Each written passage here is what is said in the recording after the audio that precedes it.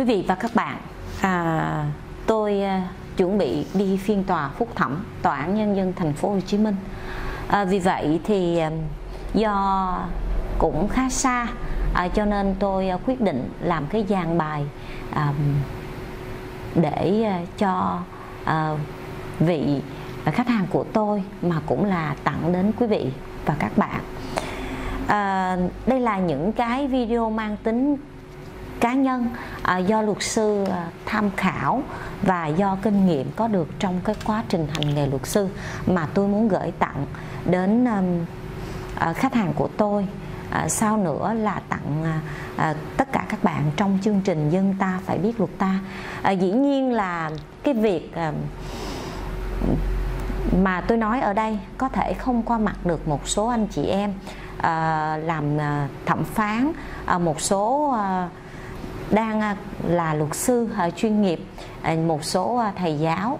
À, tuy nhiên thì tôi đã nói rồi những cái gì thuộc về dân ta những cái gì thuộc về luật ta thì tôi cứ trải nghiệm bằng cả tấm lòng à, quý vị và các bạn nếu có những cái điều gì đó sơ sót thì cũng mong quý vị và các bạn vui vẻ chấp nhận. Và nếu có những cái điều gì nó không được vừa lòng thì kính kính mong. À, tôi cũng có gửi cái đường link thì hãy gửi qua tin nhắn riêng tư để à, tôi đang trong một cái giai đoạn gọi là à, mong muốn khát khao để gửi đến quý vị và các bạn. À, cũng mong à, à, có một à, vài anh em nào đó à, cảm thấy là bực bội với cái chương trình dân ta phải biết luật ta sau à, mà cái chị này nói không có đúng hay là nó không chuẩn thì à, cũng xin à, lượng thọ qua. Thưa quý vị và các bạn tôi đã nói về trình tự một cái phiên tòa sơ thẩm rồi. Thì hôm nay tôi sẽ nói với quý vị và các bạn một trình tự một cái phiên tòa phúc thẩm trong trình tự tại phiên tòa phúc thẩm thì tôi cho rằng nó có 5 phần. Quý vị và các bạn ạ à, thì tùy theo từng phần nó có những cái nội dung cơ bản. Sau à, về ờ, phạm vi của phúc thẩm thì chúng ta sẽ à, xem theo quy định của pháp luật. Thì pháp luật chỉ ở cái cấp phúc thẩm chỉ xem xét những cái mà các bên đương sự kháng cáo như tôi đã nói đó. Ví dụ như trong trường hợp là à, trước đây tôi có một à, vụ à, chia thừa kế thì tại phiên tòa sơ thẩm bản án có ghi nhận chia phần thừa kế của ba mà không chia phần thừa kế của mẹ. Cho nên đó là lý do tôi xin à, sửa một phần bản án. Tôi vẫn công nhận cái phần mà phán quyết của tòa là tòa đã chia cái phần của ba rồi nhưng xin tòa sửa lại yêu cầu được chấp nhận cái yêu cầu của mẹ.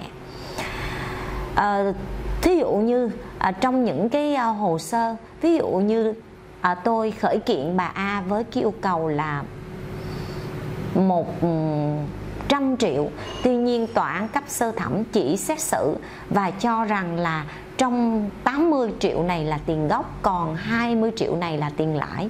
Và không đồng ý, cho nên tôi đã kháng cáo, yêu cầu sửa cái phần phần nào tôi chấp nhận thì tòa không xét. Và phần nào tôi không chấp nhận thì thì tòa sẽ xét và dựa lên những cái chứng cứ bổ sung của tôi. Thêm một cái nguồn thứ hai nữa, đó là cái kháng nghị của viện kiểm sát thì à, thú thật với quý vị và các bạn trong 10 năm hành nghề thì viện kiểm sát cũng đã kháng nghị nhiều cái bản án. Có thể là kháng nghị à, về mặt nội dung. À, tòa cấp sơ thẩm là chia à, không có tứ cạnh thiếu người liên quan hoặc là dẫn điều luật sai hoặc là tính án phí sai.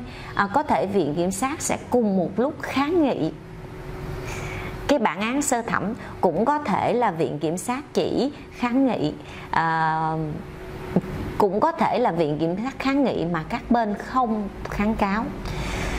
Thưa quý vị và các bạn thì à, cùng một lúc trong một video thì tôi không thể nói rất là nhiều. Tuy nhiên trở lại vấn đề chính trình tự của một phiên tòa phúc thẩm gồm 5 phần. Thứ nhất là thủ tục bắt đầu phiên tòa. Thứ hai đó là phần xét hỏi. Thứ ba là phần tranh luận. Thứ tư là phần nghị án. Thứ năm là phần tuyên án. Quý vị và các bạn sẽ bám vào những cái nội dung cơ bản để chúng ta biết rằng à, à hiện tại thì um, tòa án đã à, xong qua hết cái phần à, thủ tục bắt đầu phiên tòa rồi. À, đúng rồi bây giờ tới cái phần này là phần tranh luận thưa quý vị và các bạn à, tôi cho rằng trong cái phần mà thủ tục bắt đầu phiên tòa thì cái phiên tòa à, sơ phúc thẩm nó lại khác cái phiên tòa sơ thẩm ở một cái điểm là à, tòa án à, cho các bên à, sau khi mà sau khi mà làm cái thủ tục thì cho các bên được quyền à, có cái ý kiến là có thể rút đơn à, kháng cáo hay không có thể hòa giải được hay không à, cũng như cái phiên tòa sơ thẩm thì tòa án sẽ à, gọi là kiểm tra thông tin quý vị và các bạn ạ à. kiểm tra thông tin của các đương sự có mặt ở phiên tòa thì tôi đã nói rồi đó gồm có nguyên đơn có bị đơn người có quyền và nghĩa vụ liên quan nhân chứng nếu có à, thì à, trong cái cái phần này thì tòa sẽ đọc cái quyết định đưa vụ án ra xét xử.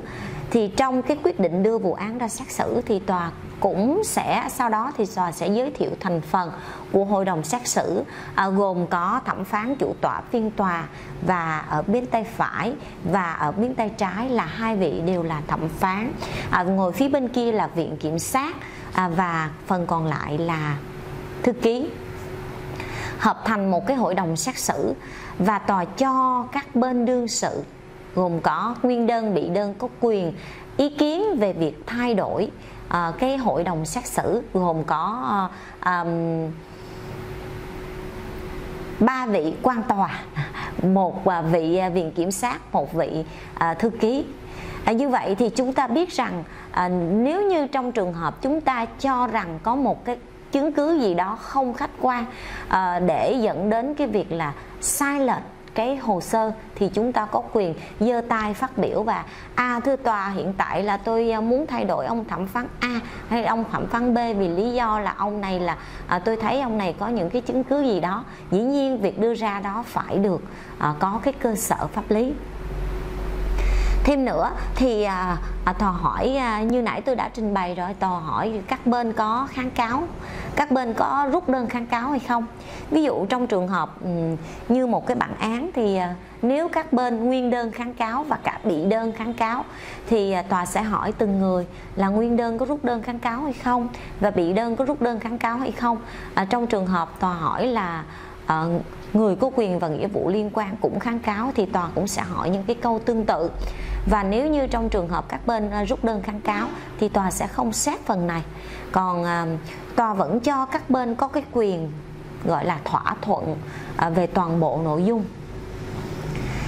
À, tòa sẽ giải thích những cái quyền và nghĩa vụ của các bên đương sự trong cái phiên tòa thì quyền thì có quyền là mời luật sư. Thì lúc đó thì tòa sẽ hỏi rằng là luật sư của à, ông nguyên đơn là tên gì? Luật sư của bà bị đơn là tên gì? Tại phiên tòa hôm nay thì bà có còn tiếp tục mời luật sư hay không? À, và những cái quy định khác nữa. À, ví dụ như là à, phiên tòa phúc thẩm là phiên tòa à, cuối cùng và có giá trị thi hành ngay à, các bên không có kháng cáo kháng nghị gì hết. À, chẳng hạn như vậy. Hoặc là trong cái phần này có kháng cáo thì luật sư sẽ trình bày hay là đương sự trình bày. Thực ra thì tóm lại trong cái phần số 1 đó quý vị thì nó chỉ đơn giản là sẽ đứng lên hỏi đương sự ông nguyên đơn ơi, ông họ tên là gì? Ngày tháng năm sinh ông ở đâu? Và địa chỉ thường trú của ông ở đâu? Có đúng trong cái bản án của tòa hay không?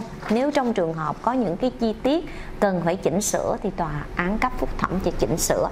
Cái thứ hai là những cái thủ tục như là quyền kháng cáo, quyền mời luật sư, quyền thay đổi hội đồng xét xử, quyền rút đơn kháng cáo thưa quý vị và các bạn đó là hết cái phần thủ tục bắt đầu phiên tòa. Thì sau khi hết cái phần thủ tục bắt đầu phiên tòa tòa sẽ chuyển qua. Thì à, một số anh chị điều khiển phiên tòa thì à, có nói là à, sau khi à, hết hết cái phần thủ tục bắt đầu phiên tòa thì chúng ta chuyển sang cái phần gọi là à, hỏi. À, còn một số anh chị thì à, Ừ, không nói nhưng mà chúng ta sẽ biết rằng là à, hội đồng xét xử đó chị chủ tọa hay là vị chủ tọa vị thẩm phán chủ tọa sẽ hỏi là à, viện kiểm sát có ý kiến về việc à, thủ tục bắt đầu phiên tòa hay không? À, luật sư ơi luật sư có ý kiến hay không? Thì đa số luật sư và à, viện kiểm sát đều trả lời là à, tòa cứ tiếp tục làm việc hoặc là không thay đổi. Thì chúng ta biết rằng đó là cái khoảng à, điểm nối giữa giữa cái cái cái đoạn trên thủ tục bắt đầu phiên tòa và cái đoạn dưới. À cái phần thứ hai đó là cái phần hỏi. Thì à, à, như tôi à, đã nói rồi đó à, trong cái phần hỏi thì à, à, tòa sẽ à, cho các bên à, trình bày. À, nếu như trong trường hợp à, nguyên đơn có kháng cáo thì nguyên đơn trình bày trước à, nội dung kháng cáo và cơ sở pháp lý của kháng cáo thì à, có lẽ là tôi cũng nói đến quý vị và các bạn để quý vị và các bạn hiểu thêm. À, có ba điều đơn giản là khi kháng cáo chúng ta chọn ba tình huống. Thứ nhất giữ nguyên bản án. Thì rõ ràng kháng cáo thì không thể nào nói là giữ nguyên bản án rồi thì chỉ có hai tình huống còn lại đó là hủy và sửa. Sau khi mình tràn gian đại hải trình bày lại cái đơn kháng cáo thưa quý tòa với lý do abcd gì đó. Sau đó chúng ta rút lại một vấn đề. Tòa ơi à, với căn cứ viện dẫn với chứng cứ mới này tôi yêu cầu tòa hủy bản án sơ thẩm. À, thưa tòa tôi cho rằng cái việc mà chia thừa kế à, cái phần của à, ba mà không chia phần của mẹ vậy ảnh hưởng đến quyền vợ lích hợp pháp. Tôi yêu cầu được sửa bản án theo cái hướng gì đó. Đó thì chúng ta sẽ trình bày được cái nội dung của đơn kháng cáo. Nếu trong trường hợp à, có bị đơn cũng kháng cáo thì bị đơn cũng sẽ trình bày cái nội dung đơn kháng cáo. Hoặc nếu có luật sư thì luật sư sẽ trình bày theo. À, trong cái quá trình hỏi này thì tùy theo cái tính chất vụ việc thì à, tòa án sẽ xoáy hỏi những cái vấn đề trọng tâm để à, à, bật lên cái việc có xem xét lại cái